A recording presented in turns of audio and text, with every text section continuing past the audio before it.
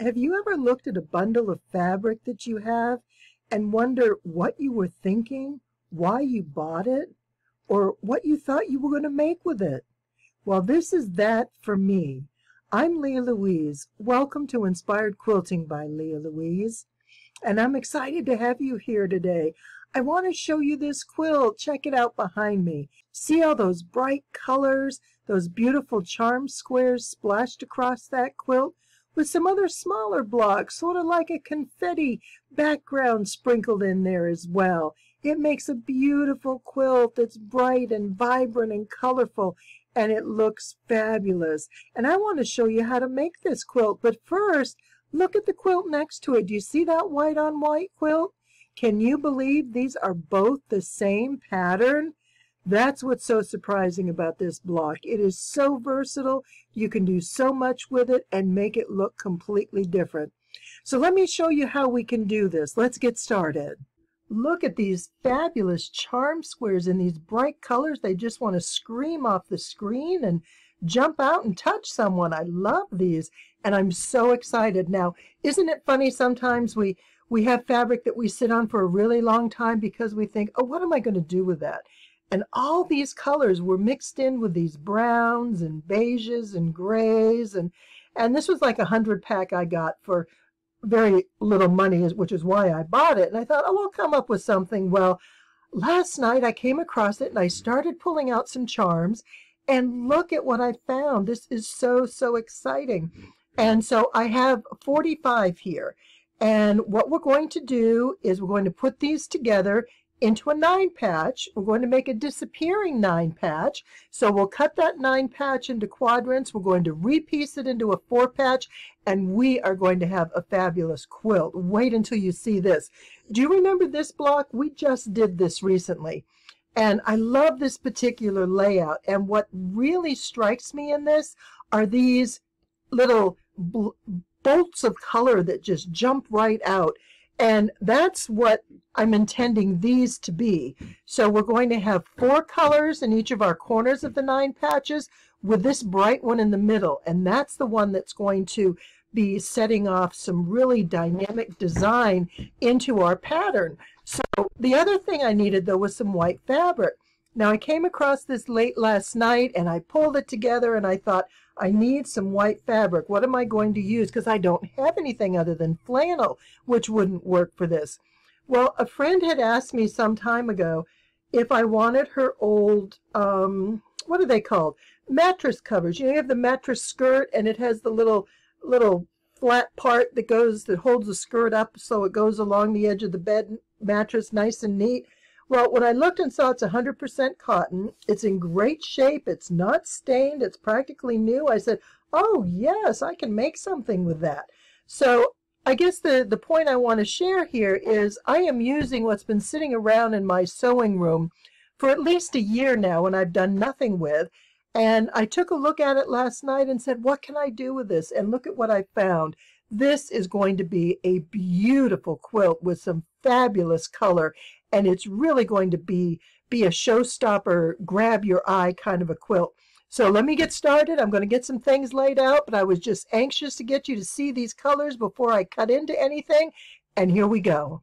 I absolutely love the creative process, especially with color and fabrics and how one thing leads to another. So I was really excited cutting out um, that bed skirt. And I got the, let's see, I needed 48 for this quilt. And I got the extra 42 pieces, so I have another whole charm square full of that white cotton, which is fantastic. And this is all that was left. How perfect is that? Pulling that out of an old box of stuff that I didn't know what I was ever going to do with. And so since I had so many white squares, I thought, oh, I need to bump this up a little bit. So instead of nine blocks of the disappearing nine patch, we're going to make 12. And that will make this quilt increase from 39 inches square to 39 by 52, which makes it a great lap size quilt and so perfect for gifting. So that's where we're heading. I just had to show that before I started cutting it all up because I was really excited and I love how this is coming together. All the pieces and parts are there and we're going to make a gorgeous quilt. Let's take a look at how to put these nine patch together with the charm squares. The pattern that we want is going to alternate with the background and then the dominant prints. So the dominants are going to be in the five primary blocks. These are going to be remaining in their full size. This is going to be cut in half and become our contrast that will create the um, sort of like confetti pattern throughout. Um, I really like this layout. I think you're going to have fun with it. So the first thing we do is we lay out our nine patch the way we want it and we sew these strips together. So we have two outside strips in the middle and this is going to be the square in the center and you'll notice how we press, press to the outside on these two side pieces and in the middle we go towards the center. Then once these are sewn into their strips and pressed, now we're going to piece our block together. First thing we do is we line these seams up, we sew our quarter inch and we press that to the outside and now we're going to do the same thing here and let me show you a finished one and then that gets pressed to the outside. So this is what the finished block is going to look like on the underside where it's pressed. So everything gets pressed outward and it's just going to make it so much easier when we put it together. It really is worth your time to do. But I want to show you um, some of these blocks. I think they came out wonderful. Now keep in mind, these are the outer blocks that are going to remain intact. This is the one that's going to be cut. So I wanted to put that one that's in the center, the darker of the fabrics, because then as that spread out amongst these white blocks and strips after they're cut, they're really going to stand out a lot better. Now this one you may or may not pick up that I made a mistake and I switched those two. I meant for that to be in the, actually I meant for this one to be in the middle. But I'm okay. It's going to get cut up. It's going to be spread around and getting one out of whack. I'm not worried about. So I left that alone. Um, there are things that are worth fretting over and other things that simply aren't. Now this I really like, purple and yellow. Again, it's about contrast and purple and yellow is a good one. Just like the blues and the yellows, but look at those reds. Those are going to work out really well. And what else do I have here? So here is some kind of lime greens with a bit of purple and orange, and oh, we're getting down to the bottom of the pile here. Here's some blue and purple with yellow in the center. I like these tealy greens with that sort of uh, really deep red. I think that's going to look wonderful. And look at these. Oh my goodness. Those chartreuse with the orange in there. That's going to be great. And some greens with the blue. So these all work really well. Now, I have a total of 12 nine patch blocks. What I'm going to do is cut each of them into quadrants and we're going to create a four patch. So let me show you how I'm going to do that. Let me get these two finished up sewing and get those pressed and then we'll come back, we'll cut them up and I'll show you how this block is going to go together. You're going to love it. It's so simple. Now that we've sewn everything together, pressed it, it looks beautiful, we're going to cut it apart. But first what I wanted to do is, since I have 12 different blocks. I wanted to divide them up into three different piles. So as I'm sewing, I can just draw from my pile and have a mixed um, batch of blocks to draw from. And I'll show you more about that in a moment. But what I did want to show you first is what I did is group them into sort of color groups. This is my um, blues and greens for the most part, some teals. This is red, orange, some of the bright green, yellow kind of colors. And this primarily um, purple and, and pink kind of colors that are mixed up. And what I'm going to do, let me grab my ruler here, is show you how to cut these. Now, if you need a little more information about making these blocks, if you want a little more detailed instruction, um, the video prior to this that I just did uh, goes over that in more detail because we made the same block and it worked out really well. So I'll make a link up above here that you can get as well as a link down below where you can find that information. Now what I'm doing here is I got to cut this right down the middle. This measures 14 inches and while I can put it on the grid and cut it at 7 to get my middle, I want to make sure that I have exactly that two and a quarter inch on each side so that this block is cut in half and not a little wonky or lopsided. And by measuring from the center, then I'm going to get a really good clean cut. So I'm lining my ruler up at two and a quarter inches, and then I just take my other little ruler and make sure I've got two and a quarter on that side before I cut. And now I know that my blocks are going to be nice and even. And for now, I'm just going to put them all in the same direction. See how we do that. And so I'm going to make four piles. And I'm going to take the next one and do the same thing. So while I continue cutting on this, I will then get everything ready and then we'll start piecing our blocks.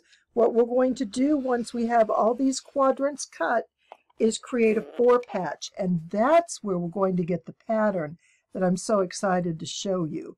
And it's going to really be bold and bright with all these colors and I think you're going to love it. So let me finish cutting these and I'll show you what we're doing next. With all our nine patch blocks cut into quadrants, we're now going to create our four patch that's going to create the pattern for our quilt top. And so each pile should have 12 blocks. And what we're going to do is divide this pile into three individual. We'll take one block off the top and add it to each of these smaller piles. And we may get a little bit of duplication here and there. And you can take a look and see this has a lot of low colors and I think I want to maybe bring that over here to brighten that up. And let's take a red out and put that here. And then I feel better. These look good. So now that we have these four blocks, we're going to create our final four square. So let me get four of these together and show you how this block will work. Now, when we made our block originally, before we cut them, this is basically how we did it. We had a nine patch that we cut in four. Now we're going to rearrange these in order to create our pattern. And what we're going to do is circle around and twist these. And, and if you saw the last video, it's sort of like a square dance where someone calls out and takes calls out how many steps you take in each direction. So we're taking steps to the right. This one will remain the same. This turns one step to the right. This turns two steps. That's one and two steps. This turns three. One, two, and three. And this is what our block's going to look like. So you recognize this as a pattern that is commonly called um, tumbling blocks or tumbling squares or tumbling charms. But what's great about the setup of how this nine patch is put together, this center block that we cut up now becomes another random diagonal pattern that looks really wonderful against these larger squares. The second pattern that you get is this diagonal of the large, the small, the large, and the small. So let me go ahead and put these together and I'm going to show you what these blocks look like individually and then how we're going to put them together. We're almost there. Here we have a beautiful pile of wonderful quilt blocks ready to be pieced into a final quilt. I do want to show you real quick how to press these blocks once they're pieced. So we have the four quadrants. We sew two together, top and bottom, and then put them together with one seam.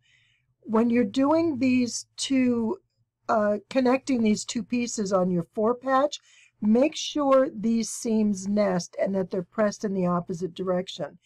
And whatever way you do this, where the seam is pressed here and here, do it the same on all your blocks.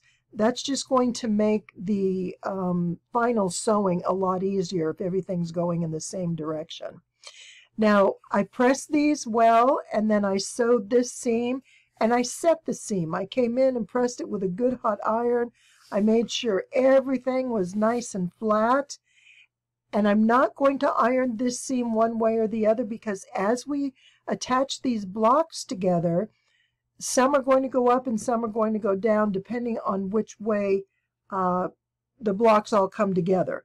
So I prefer just to keep them unpressed and then when we put the blocks together we're good to go. When these are being assembled, remember this is your top. Now, don't confuse this one with this one. See, this is on this side. That's not what we want. We want the one that is together where they share a seam line like this. So we have this diagonal and then these two go this way. But this is going to be your top and center for all your blocks as you're putting your quilt together. So this would be next. Now maybe you don't want two greens, so you can take this one and say, well, I'm going to put a red one there. And we just go through and we place these. And as long as we keep these in the upper corner or in the upper top, look at that, I already made a mistake. I turned that one upside down. There we go, that's better. So we turn this um, with all of them going up like that and just lay it out and let it uh, let it go together. These blocks have all been mixed with a multitude of colors. You're not going to have to worry too much about repetition if you used a lot of colors. Most of these, for me, they were all one of a kind. So while there may be similar shades, they're not going to be the exact same block. So I'm okay just putting it together and letting it fall randomly. Now, you're going to have three blocks wide by four blocks. And what I recommend doing is doing, I would say probably do the three across with four rows. So we're going to go down and do one, two, three, four, then come back and add your third block. And that's probably the way that I think would be the easiest. And then once we're there, we give it a press and this is done. This goes together very, very quickly. This is easily an afternoon quilt. And I just, I love all the, the colors and how well they go together. And it's just this bright, vibrant pattern. And I love the little confetti blocks. I know they're bigger than the usual confetti. The confetti usually is a little tiny bit, but I think it looks wonderful and it's bright, it's attractive, and it's really an attention getter. So let me put this together and I'm going to show you what this finished quilt looks like. We're just about there. And this sweet little quilt is finished with all these bright, bold colors. Just look at how they work together and create such a gorgeous quilt top. All these colors just mix well together and the little bits of color and I love the diagonal lines here and these are sort of the wavy diagonals but you notice we also have this diagonal as well. I want you to see the actual blocks here. Lay this out right here. We have one block, two blocks, and then here's the third block and the fourth. So you can see how big those blocks are. They finish at, um, let's see, I think it's 13, 13 inches is what they finish at. Um, so it makes for a good sized block, which means the, the final assembly of this quilt goes quick because you have all these large four patches pre-made and it just makes it so much easier putting it together. Now you can still go through and go single block at a time but you're twisting and turning all these other, you know, these blocks to try and get them in the right pattern. It's just so much easier to go with a four patch, get everything laid out the same, and then just work those four patches together into uh, into your larger quilt. But these these colors just look beautiful. There's just some really great combinations. And it went together very simply. I think this is going to be a, uh, a new fun pattern to play with. The white on white turned out really well. And now we have it in bold color. What a fun pattern this is. I hope you get a chance to make it yourself. I'm so glad you're here with me today. Thanks for watching and please subscribe.